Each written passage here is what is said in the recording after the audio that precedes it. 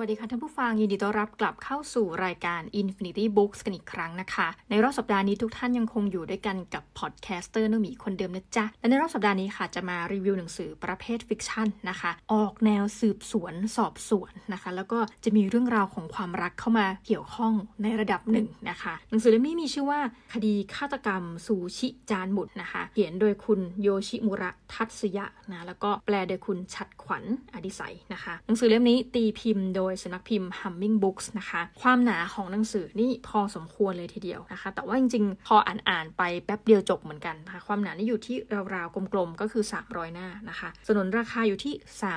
325 บาทนะะส่วนตัวรู้สึกว่าถ้าซื้อเล่มนี้นะคะ คุ้มค่ะ เพราะว่าจำนวนหน้านี่ค่อนข้างหนาทีเดียวนะก็ตกหน้าระบาดนะคะ ทีนี้ต้องบอกว่าหนังสือเล่มนี้ ตัดสินใจสั่งเข้าห้องสมุดของมหาลัยเนี่ยเป็นเพราะปกแท้ๆเลยนะทุกท่าน เนื่องจากว่าปกดูน่ากินมากนะคะก็ไม่ค่อยเข้าใจเหมือนกันว่าเอ๊ะหนังสือสอบสวน สืบสวน อาชญากรรมเนี่ยนะคะทำไมต้องเอารูปอาหารมาเป็นหน้าปกนะคะแล้วชื่อก็น่ารักมากเลยนะคดีฆาตกรรมซูชิจานหมุนนะคะ ซึ่งต้องบอกว่าหนังสือเล่มนี้จริงๆ ให้ความรู้เกี่ยวกับด้านอาหารเนี่ยเยอะมากนะคะสำหรับใครก็ตามที่เป็นคออาหารด้วยนะคือไม่จำเป็นต้องชอบหนังสือแนวสืบสวนสอบสวนนะสามารถอ่านตามแล้วก็เรียกได้ว่าไม่แนะนำต้องบอกอย่างนี้ว่า ใครสอนให้อ่านหนังสือเล่มนี้ตอนกลางคืนนะคะ ไม่แนะนำเพราะว่าแม้กระทั่งเราเองส่วนตัวจะไม่ทานอาหารดิบอะแต่อ่านหนังสือเล่มนี้รู้สึกว่าเฮ้ย อยากไปกินซูชิจานหมุดมากนะคะ นี่พูดมาตั้งนานแล้วบอกหน้าปกน่ากิน คือหน้าปกเนี่ยก็เราจะเห็นสายพานของซูชินะคะ ก็คือซูชิจานหมุดนั่แหละ แล้วก็จะมีการวางคือเตรียมจะทานอาหารนะคะ เราก็จะเห็นแคลิฟอร์เนียโรทั้งหลายนะคะ มีข้าวปั้นนะคะ หน้าปลาอะไรไม่รู้สีแดงนะคะ แล้วก็มีอีบินะคะ มีกุ้งวางอยู่นะ แล้วก็เหมือนอารมณ์มีไข่กุ้งวางไว้อีกทีหนึ่งแล้วก็ในทางขวามือของหน้าปกต้องอธิบายซะหน่อยนะ น่ากินมากเลย ก็จะมีจานที่เรียงกันเป็นตับนะบ่งบอกว่าน่าจะอร่อยเพราะกินหลายจานแล้วนะคะ โอเค เราไปดูหลังปกกันว่าอธิบายหนังสือเล่มนี้ไว้ว่าอย่างไรนะคะ นิยายสืบสวนสอบสวนที่กระตุ้นต่อมความอยากอาหาร อัดแน่นไปด้วยซูชิจานหมุนแบบสายพาน ชวนน้ำลายสอ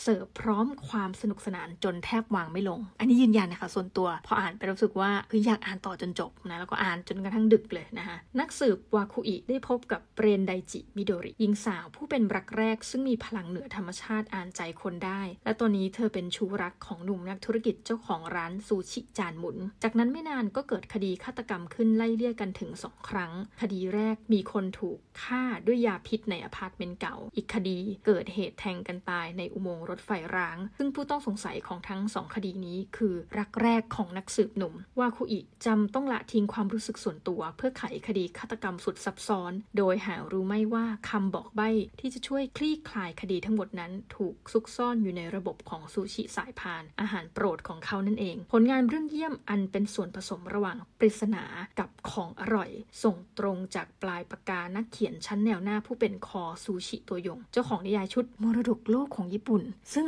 เอ๊ะเราก็รู้สึกว่าอ้าวมันเป็นนิยายได้ด้วยนะคะ มรดกโลกของญี่ปุ่น ไม่แน่ใจว่าพอเชื่อมเรื่องนี้กับซูชินะคะ มันจะมีเรื่องอื่นอีกหรือเปล่า เพราะว่าเราก็แอบไปดูใน Humming Books นะคะว่า เอ๊ะ แนะนำนักเขียนว่าอย่างไร ปรากฏไม่ได้มีอธิบายในตัวของชุดนิยายนี้ไว้นะคะ คือแค่หน้าปก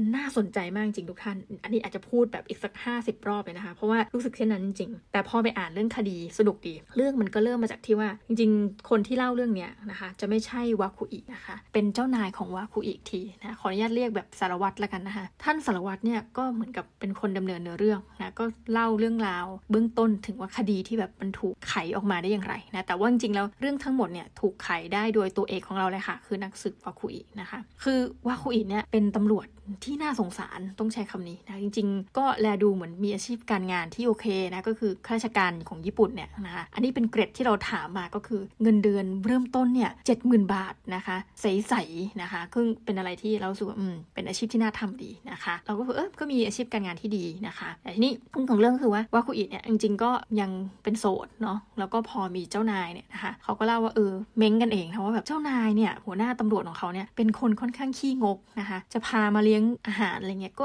เนี่ยมาร้านซูชิจานบุญนะซึ่งจริงเขาก็จะเล่าถึงเรื่องราวประวัติของซูชิในประเทศญี่ปุ่นเนาะแล้วก็จะบอกว่าซูชิจานหมุนเนี่ยค่ะแต่เดิมมันก็มีการใช้ลิขสิทธิ์นะร้านแรกที่เปิดเป็นซูชิจานหมุนก็ทำให้ให้คนเนี่ยไม่สามารถทำซูชิจานหมุนได้มันมีการจดลิขสิทธิ์นะแต่เหมือนกับพอตัวสิทธิบัตรลิขสิทธิ์อะไรเนี่ยหมดไปนะคะเหมือนหมดอายุของมันไปเนี่ยคนก็เลยเริ่มแห่กันมาเปิดซูชิจานหมุนนะคะแต่ก็เหมือนกับเป็นที่รู้กันว่าจริงๆแล้วเนี่ยซูชิจานหมุนเนี่ยคือมันเหมือนเป็นข่าวลือและเป็นเหมือนกับการฝังความเชื่อไปแล้วว่า ร้านแบบเนี้ยก็จะไม่ใช่เป็นซูชิที่แบบพรีเมียมอะไรอย่างเงี้ยนะคะ คือถ้าเป็นพรีเมียมเนี่ยมันก็จะไม่มาวาง แล้วก็ให้มีจานมาหมุนไปนะคะ แล้วก็ลักษณะของการกินซูชิจานหมุนโดยทั่วไปเนี่ยมันก็จะเป็นว่าถ้าเกิดอ่าเหมือนกับเราก็ต้องรอใช่ไหมคะส่วนใหญ่ก็จะรอว่าอ้าวจานไหนที่แบบเอ้ยเราอยากกินก็หยิบนะทีนี้ถ้าเกิดคุณนั่งเขาเรียกทางต้นน้ำเนี่ยคุณก็จะได้หยิบก่อนเลือกก่อนนะในขณะที่คนนั่งปลายน้ำคือแบบเอ้ยบางทีอยากกินจานเนี้ยแต่ว่า ก็สุดท้ายมาไม่ถึงมือนะหายแซบหายสอยไปก่อนนะแต่ว่าในนี้เขาก็เล่าว่ามันก็มีเหมือนกับพัฒนาการอย่างร้านที่เขาไปนั่งกินเนี่ยจริงก็จะมีเชฟคอยบอกว่า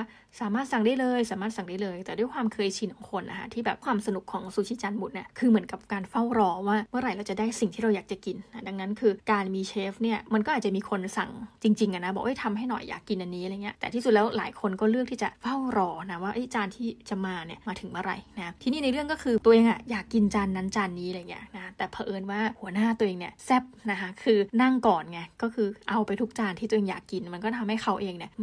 ลึกๆนะเราก็คิดว่าแลดูกินไม่อิ่มแล้วถัดไปคือสิ่งที่อยากกินเนี่ยกลับไม่ได้กินแล้วก็ได้กินซูชิที่มันจะมีราคา ส่วนราคาที่ถูกลงนะก็แบบแอบหุดหงิดนะคะแต่ไปมามันก็เล่าถึงเรื่องราวของคดีคดีหนึ่งค่ะมาแล้วนะ อย่างที่ในปกหลังบอกว่า เอ้ย เป็นคดีที่พูดถึงเรื่องของรักแรกของวาคุอิ นะคะวาคุอิเนี่ยตกลุมรักนะคะแล้วก็เหมือนกับเจอเด็กสาวคนนี้แล้วก็มีความรู้สึกประทับใจเนี่ยก็ตอนที่ไปเจอกันที่ร้านซูชินะคะโดยที่แบบพอปะกันอะไรเงี้ยเด็กผู้หญิงเนี่ยหูจริง ๆ แล้วเป็นคนที่หน้าตาสวยมากนะคะ แล้วก็ยังไม่ทันจะอะไรเลยนะคะ ปรากฏว่าก็เหมือนจากกันไป เพราะว่าผู้หญิงเนี่ยคือต้องย้ายตามการทำงานของคุณพ่อนะก็เลยเป็นรักแรกสมัยประถมมีความฝังใจแล้วก็มีความประทับใจกับร้านซูชินะคะ ในการต่อมาก็ปรากฏว่าเจ้าของธุรกิจของร้านซูชิเนี่ยลูกชายเจ้าของเหมือนเป็น generation ที่2เนี่ยนะคะปรากฏว่าบริษัทนี้นะชื่อว่า Easy Sushi เนี่ยก็คนที่เป็นเหมือนกับมือขวาเนี่ยในเชิงว่าเป็นคนรักของเขาเนี่ยแต่ว่าทำงานในบริษัทเดียวกันนะคะพูดง่ายๆเหมือนอารมณ์เป็นแฟนของเจ้าของเนี่ยก็เสียชีวิตลง นะคะ ปรากฏว่ามันก็มีผู้ต้องสงสัยอยู่ด้วยกันประมาณ2อสาคนนะคะคนแรกที่เป็นผู้ต้องสงสัยก็คือลูกชายเจ้าของบริษัทนะซึ่งเราก็บอกว่าตอนนี้อัปเกรดเป็นเหมือนกับเจ้าของรุ่นถัดไปละนะถัดไปก็คือเลขานะซึ่งเลขาจริงๆแล้วเนี่ยเป็นเลขาตั้งแต่สมัยรุ่นคุณพ่อ เหมือนกับอยู่ยาวมาเรื่อยอะไรเงี้ยก็เป็นผู้ต้องสงสัยคนที่ 2 ซึ่งเป็นผู้หญิงนะคะ แล้วก็คนที่ 3 ซึ่งเป็นผู้ต้องสงสัยเนี่ยก็คือคุณมิโดรินะคำถามก็คือว่าคุณมิโดริเกี่ยวอะไรกับการเสียชีวิตของหญิงสาว ที่บอกว่าเป็นคนรักของท่านประธานบริษัทรุ่น2นะคะก็ปรากฏว่าจริง ๆ แล้วไปไปมาเนี่ยเรื่องมันก็จะบอกว่าเอ้ยจริงๆผู้หญิงคนที่เสียชีวิตเนี่ยเหมือนเป็นแฟนเก่าที่ถูกแบบเขี่ยลงนะคะแต่ว่าคุณมิโดริเนี่ยก็เหมือนเป็นแฟนแบบลับๆแม่ของชายหนุ่มนะคะซึ่งจริงตอนแรกนักสืบเนี่ยคุณวาคุอิก็ไม่รู้ แต่ไปมาพอสืบแล้วถึงรู้คือเป็นเราเราก็จะแบบมีความรู้สึกสะเทือนใจนิดหน่อยอุ้ยรักแรกของเรานะเป็นทั้งผู้ต้องสงสัยแล้วก็เอ้าเธอมีแฟนแล้วนะเป็นแฟนแบบลับๆซะด้วยนะคะ คือปรากฏว่าเรื่องมันก็เริ่มต้นที่ว่ามิดูรีเนี่ยยังไงไม่รู้อยู่ดีก็สามารถที่จะอ่านใจคนได้นะคะแล้วเขาก็มีแผนว่าจะเปิดร้านซูชิเนี่ยที่เป็นซูชิดูดวงอะสมมติเช่น คุณเคยไหมเวลาคุณไปเปิดฟอร์จูนคุกกี้นะคะ ขออิง BNK49 ซะหน่อย ไปร้านอาหารจีนโดยเฉพาะจีนในอเมริกาเนี่ยนะคะ ก็เวลาท้ายมือเนี่ยเขาก็จะมีเหมือนกับขนมที่ให้ฟรีอยู่ละนะนั่นก็คือ Fortune Cookie ซึ่งลักษณะแป้งมันก็น่าจะคล้ายๆ ขนมแบบหลายอย่างของไทยเหมือนกันนะ เป็นแป้งที่ไม่มีอะไรเลยค่ะ ก็หวานและหอมนิดๆนะแต่เป็นแป้งที่พับมาแล้วก็ข้างในเนี่ยเมื่อเราแครกเปิดมันออกมาเนี่ยมันก็จะมีคำทำนายอยู่ใส่มาในคุกกี้เขาเลยเรียกว่าฟอร์จูนคุกกี้นะคะกรณีเช่นนี้เขาก็เลยจะทำร้านซูชิที่เป็นฟอร์จูนซูชิจานบุญนะคะ เหมือนกันก็คือว่าพอทานอะไรปุ๊บเนี่ย เปิดมาอ้าวตายแล้ว นะจานนี้แบบเออแล้วก็จะมีคำทำนายอะไรแบบนี้นะคะ โดยที่จะให้คุณเรนไดจิมิโดรินะไม่รู้จะเรียกนางเอกของเรื่องหรือผู้ร้ายผู้ต้องสงสัยของเรื่องนะให้คุณมิโดริเนี่ยเป็นไอคอนนะคะว่าเฮ้ยบริษัทเราเนี่ยมาโคกับคนอ่านใจได้คนนี้นะแล้วเธอก็เหมือนเป็นแบบตัวรันในเรื่องนะเพื่อที่จะให้ซูชิเนี่ยขายดี ซึ่งจริงเนี่ยนอกจากเรื่องความรู้เกี่ยวกับการเปิดร้านซูชิเรื่องของการมองว่าเอ้ยทำไมคนญี่ปุ่นมองว่าซูชิสายพานเป็นลักษณะเช่นนี้ อีกความรู้ที่ได้คือเรื่องว่าเออคนญี่ปุ่นก็มีความเชื่อเรื่องลึกลับเช่นเดียวกันนะแต่ว่าความรู้อีกอันคือเป็นความรู้ด้านธุรกิจทุกท่าน เพราะว่าเจ้าของเจเนอเรชันที่2เนี่ยเขาบอกว่าการที่จะเอาคุณมิโดริเนี่ยมาพูดถึงเรื่องดวงอะไรพวกนี้เนาะเขาก็ทราบดีว่าจริงๆแล้ว แสดงว่าการจับกลุ่มลูกค้าเนี่ยต้องเป็นลูกค้าผู้หญิง เพราะอะไรคะผู้หญิงชอบดูดวงจ้า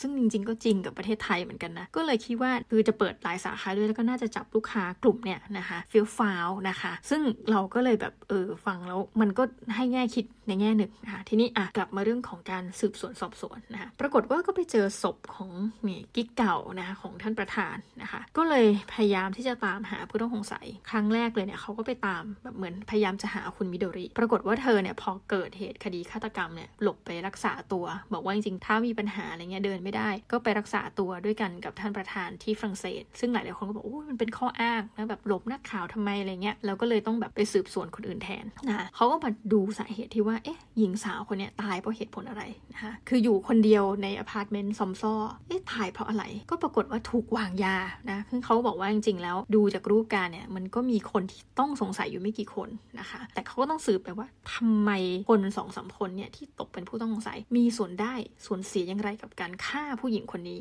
นะคะ แล้วไปมาเนี่ยวาคุอิเนี่ยก็เดินทางไปพบกับมิโดรินะคะ โดยการที่จะไปดูว่าเอ๊ะเธอนี่มีพลังในการอ่านใจคนจริงหรือเปล่า แต่จริงๆก็เหมือนกับมีจริงนะ พอเราดูไปก็ตื่นเต้นมากเลย เหมือนเขาก็มีคล้ายๆว่าให้สุ่มนะเลือกคนที่อยู่ในที่ประชุมนั้นมา 7 คนนะคะ แล้วเธอเองก็ให้คนที่ถูกสุ่มมาเนี่ยเขียนไปเลยว่าอยากจะพูดเรื่องอะไรอะไรเงี้ยอยากได้อะไรอะไรเงี้ยแล้วเธอก็ให้ปิด ผนึกซองสีดำก็คือจะไม่เห็นแล้วเธอก็แบบบอกว่าอ่าใบอันนี้ของใคร แล้วก็มาบอกว่าคุณคุณชื่อนี้ใช่ไหมคุณมีความต้องการเรื่องนี้คุณมีความทุกข์ใจเรื่องนี้อยู่ใช่ไหมอะไรแบบเนี้ยซึ่งมันถูกทุกคนเลยเขาก็เลยแบบตะลึงพึงเพลิดว่าเธออ่านใจคนได้นะแต่ว่าตั้งแต่ต้นเรื่องเนี่ยวาคุอิด้วยความเป็นนักสืบสุดชีพเนี่ยก็จะมีความมาตั้งข้อสงสัยในประเด็นนี้ตลอดว่าเอ๊ะมันเป็นเรื่องเหนือธรรมชาติที่เธอมีจริง ๆ หรือเปล่าหรือว่าจริง ๆ แล้วมันเป็นเรื่องการหลอกลวงนะซึ่งหัวหน้าของเขาเนี่ยบอกแต่แรกว่าอุ้ยใครมันจะไปมีจริงนะไอพลังเหนือธรรมชาติ แล้วก็ตั้งข้อสังเกตดีมากอ้าวนายอะเป็นเพื่อนกับเธอแต่เด็กถ้าคนเรามันจะมีลักษณะเช่นนี้ตอนเด็กๆมันก็มีแล้วเคยได้ยินไหมล่ะว่าเธอมีพลังเหนือธรรมชาตินะว่าคุยก็เออ ใช่ครับไม่มีนะก็เลยเรื่องต้องดำเนินไปด้วยการพิสูจน์ทราบนี่แหละค่ะว่าตกลงแล้วเนี่ยสิ่งที่โมกันไว้นะประการที่ 1 มันมีจริงไหมนะประการถัดไปก็คือว่าตกลงแล้วเนี่ยใครที่เป็นฆาตกรกันแน่นะคะปรากฏว่าตอนแรกก็มีหนึ่งศพอะไปไปมาผู้ต้องสงสัยอีกหนึ่งคนในนี้นะหนึ่งในสามเนี่ยก็เสียชีวิตลงทำให้ผู้ต้องสงสัยจริง ๆ เนี่ยมีเพียงสองคนเท่านั้นนะคะ เรื่องนี้ต้องบอกว่าพล็อตทวิสต์มากเลย เพราะตอนแรกเราเข้าใจว่า อะ โอเคสองศพตอนแรกก็จริงๆว่าเป็นอีกศพหนึ่งที่แบบไม่ใช่ผู้ต้องสงสัย แต่พอผู้ต้องสงสัยตายปุ๊บ มันก็จะมีการโยนไประหว่างกันแล้วว่า ในสองคนนี้ใครเป็นคนผิดนะ หรือว่าพอทำแบบจับใครสักคนมาลงโทษแล้วเนี่ย สรุปแล้วเนี่ยสิ่งที่นักสืบได้คิด นะสิ่งที่องค์กรตำรวจได้คิดเนี่ยตกลงแล้วมันเป็นเรื่องจริงหรือเปล่าหรือว่า จริงๆแล้วถูกหลอกโดยใครสักคนที่บงการอยู่เบื้องหลังที หรือจริง ๆ แล้วเนี่ยแม้กระทั่งตัวฆาตกรที่แท้ทรูเองเนี่ยจะไม่ใช่ผู้ต้องสงสัยเลยนะคะต้องให้ท่านผู้ฟังเนี่ยนะคะในวันนี้เป็นผู้ฟังนะเดี๋ยวอีกสักวันไปหยิบหนังสือแล้วมีมาอ่านต้องไปอ่านเองเพื่อดูเฉลยว่าเฮ้ยตกลงแล้วอะใครเป็นฆาตกรในคดีซูชิจานหมุนนะแต่ต้องบอกว่าเอ้ยพุ่งตรงท่านในฐานะยามิทีคนไม่ทานอาหารดิบอ่านจบแล้วยังอยากที่จะไปร้านซูชิเลยนะคะ คือแบบนึกถึงหลายร้านหลายแบรนด์มากในประเทศไทยตอนนี้ที่แบบสามารถจะเติมเต็มความฝันเราได้นะคะ เรื่องที่ร้ายที่สุดคือตอนอ่านหนังสือแบบนี้ดันอ่านตอนกลางคืนนะคะดังนั้นอย่าหาว่าผู้จัดรายการไม่เตือนนะคะอย่าอ่านตอนที่เป็นตอนกลางคืนที่ท่านหาอะไรกินไม่ได้นะหรือที่ท่านต้องแบบไปพึ่งเซเว่นอีเลฟเว่นว่าถึงจะมีซูชิในหลาย ๆ ที่นะคะแต่มันอาจจะไม่ฟินเท่าอ่านตอนกลางวันอ่านจบแล้วนะคะ ไปกินมื้อเที่ยงอ่านจบแล้วไปกินมื้อเย็นซูชิยังเปิดรอท่านอยู่นะคะด้วยจิตใจบริสุทธิ์ นะคะสำหรับวันนี้ก็ต้องขอบคุณทุกท่านมากนะคะ ที่อยู่ฟัง Infinity Books เป็นหนึ่งในหนังสือที่อ่านแล้วหิวที่สุดในปัตตภีบอกเลย แล้วก็วางไม่ลงเอ้ยหนังสือเล่มนี้เราแนะนำนะขอบคุณ Humming Books มากที่เลือกมาแปล แล้วก็จะดีกว่านี้นะคะเมาส์สักนิดเจ้าของนิยายชุดมรดกโลกของญี่ปุ่น ยังไงไปแปลเพิ่มได้ไหมเพราะว่าตอนอ่านหนังสือเล่มนี้มันมีความรู้สึกจริงว่ามันเคยมีการแปลหนังสือของผู้เขียนคนนี้มาแล้ว เพียงแต่ไม่บอกเราอะว่าหนังสือเรื่องอื่นคืออะไร จะได้ไปตามอ่านต่อเพราะว่าลีลาการเขียนการแปลสนุกมากจริง นะคะ โอเคสำหรับวันนี้เราต้องขอลาทุกท่านไปก่อนนะคะ แล้วก็กลับมาพบกันใหม่กับ Infinity Books อย่าลืมกด subscribe นะคะ Infinity Books นะคะ หรือ Infinity Podcast แล้วเราจะพบกันใหม่ค่ะสำหรับวันนี้ สวัสดีค่ะ